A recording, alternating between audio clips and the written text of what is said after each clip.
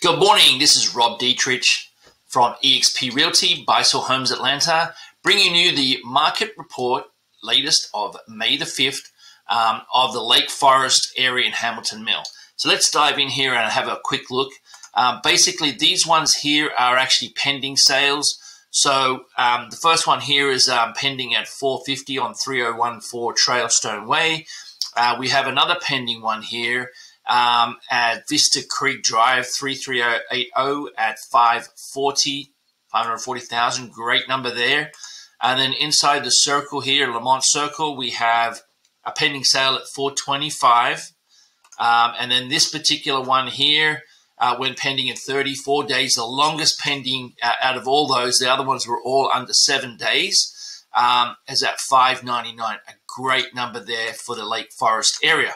Then if we look, these are actually closed sales. So we have a closed sale here at 1180 Lamont Circle at sold for 534.9. Um, and the last one here is uh, at 1275 Lamont Circle sold for 410,000. So they're the great numbers there for, as you can see, um, the the uh, Lake Forest area. Give us a call if you're interested. like to know a valuation of your home. My number 404 632 5170 or you can find more information on our website buysellhomesatlanta.com. Thanks so much. Bye bye.